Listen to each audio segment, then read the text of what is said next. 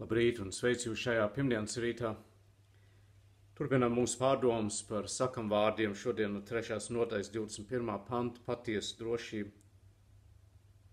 Dēls neatlaidies no šiem diviem, no gudra padomu un izmanības. Tie būs dzīvība tavai dvēselē un rota tavam kaklam. Droši tad staigās savu ceļu, kāja tev nepiedauzīsies. Gulēt iedams, tu nebaidīsies, tu apgulsies un saldā aizmigs. Nesatrūksies pēkšņās bailēs vai ļaundara viesulī, kad tas nāks.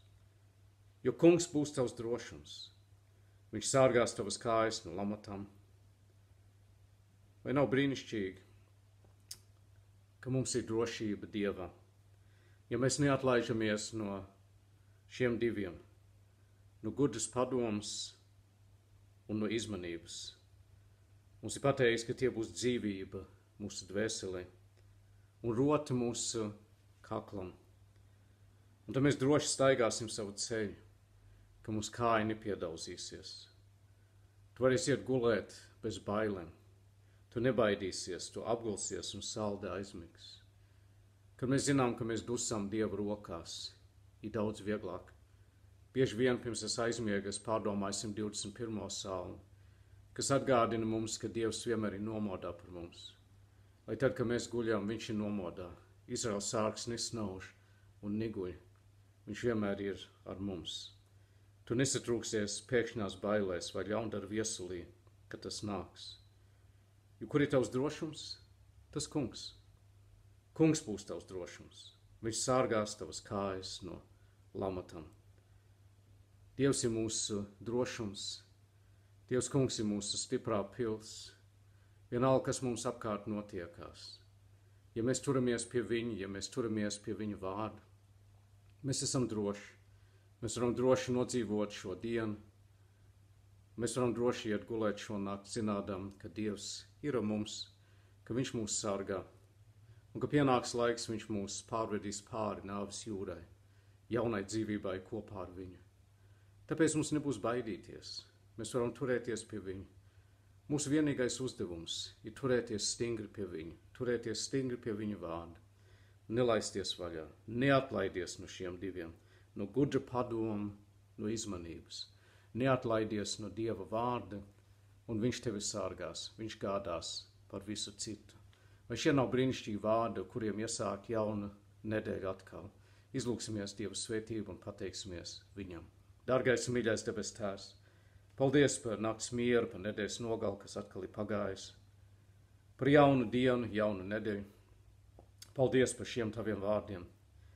Mēs apņemamies, kungs, neatlaisties no tavu vārdu, nepalaist rokas, nenovērst savu skatu no tevis, jo tavs vārds ir mūsu gudrība, tavs vārds ir mūsu drošums, mūsu spēks. Paldies par to svētību, kas nāk, ka mēs turamies pie tavu vārdu. Paldies par to svētību, kas nāk, ka mēs turamies pie tevis. Mēs zinām, ka vienalga kas un kā galu galā viss labi būs, jo tu esi ar mums. Paldies par to, lai tas mūs iedrošina šodien, lai tas mūs stiprina. Palīdz mums turēt savu skatu vienmēr, kungs, uz tevi. Neskatīties tik daudz uz vētram un uz vilniem, bet skatīties uz tevi, kas esi lielāks par visu. Paldies, ka tu mūs tik ļoti mīli. Paldies, kungs, Jēzus, ka tu izlēji savus asins pie krusta mūsu pestīšanai. Paldies, ka mēs varam būt tavi bērni. Paldies, ka tu vienmēr esi ar mums. Mēs aizlūdzam par kādu, kas vēl to nezina, kas vēl to nesaprot. Lai šī būtu tā diena, kas sirds atveras tev. Kungs, mēs visi nododam tavās rokās, zinādām, ka tavas rokas ir labas rokas. Aizlūdzam par slimājiem, aizlūdzam, kungs, par visiem, kam ir bēdas un grūtības. Caur šiem grūtiem laikiem, kungs, dod mums pastāvēt tevī. Dari mūs stiprus, Palīdzi mums būt starp tiem, kas citus mudina, iepriecina un stiprina. Pildi mūs šodien no jauna savu garu. Ir teikts tavā vārdā, kas paļaujas uz to kungu, tie dabū jaunu spēku. Mēs paļaujamies uz tevi, kungs, un mēs saņemam šo jauno spēku. Palīdz mums turēties pie tevis. Visu nododam tev.